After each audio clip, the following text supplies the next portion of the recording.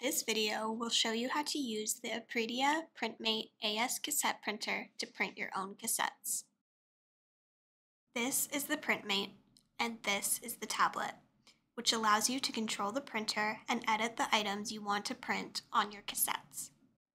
The power switch of the cassette printer is on the left corner of the back of the unit.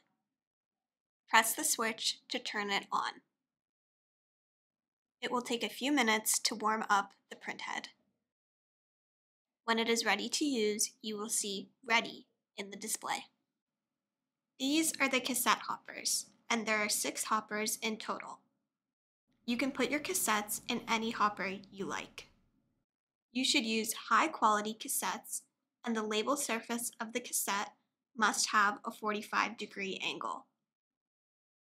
If the lid attaches to the body of your cassette, you have to remove the lid. Now, you can drop the cassettes into the open top of one of the six hoppers. Please make sure that the label surface of the cassette is face down. There are three outlets. This is outlet number one, outlet number two, and outlet number three.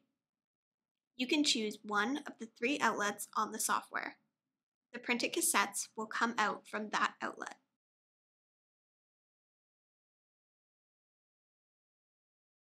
Here is a sample of a printed cassette.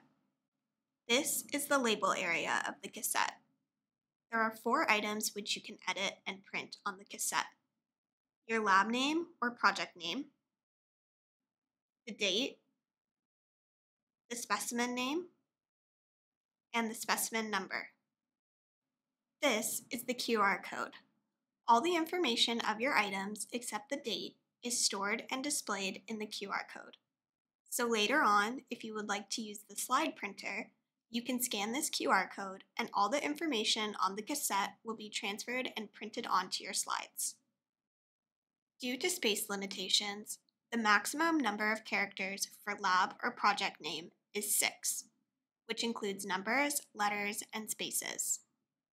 For the specimen name, the maximum number is 8.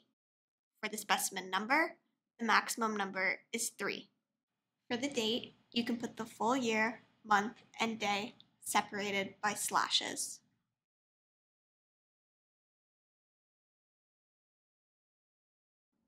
Next, we will show you how to use the tablet and edit the items you would like to print on your cassettes. Turn on the power switch here. The software we are going to use is called LabWriter. It is located on the desktop. Click on the icon LabWriter.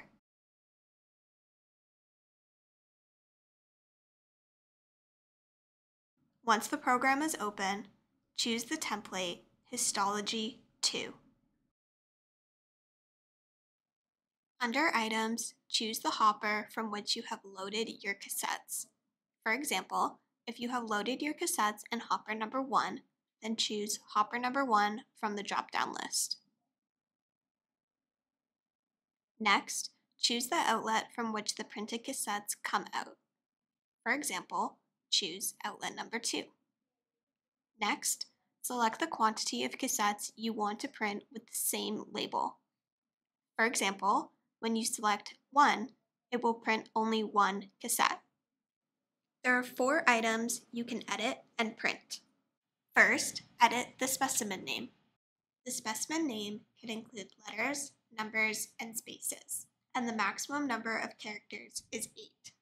For example, brain Q8. Next, edit your lab name or project name. The maximum number of characters is 6. So for example, CFI 168. This is the case number or sample number, and the maximum number of characters is 3. For example, 1, 2, 3. The last field is the date. You can put today's date or any date you like. For example, 2023 02 17. Then click Add. Now you can review the label under the print section on the right side of the screen. If everything is correct, click Print. Here is your printed cassette.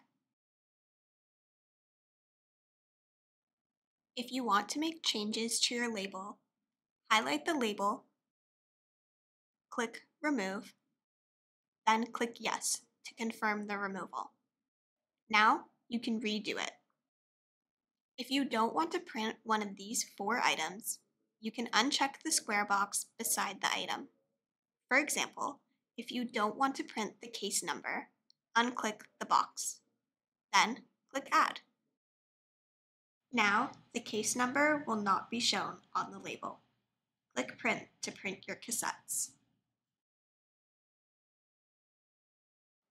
You can edit and add as many labels as you like. Then, click Print to print all the cassettes together.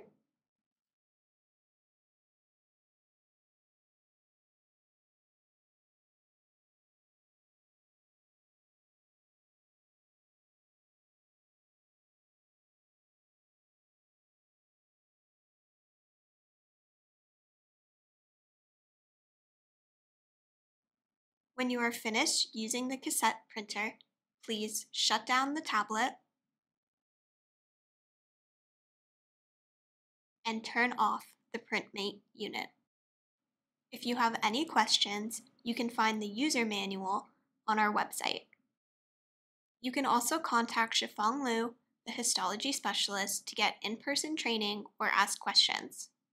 Thank you for watching this video and good luck with your research project.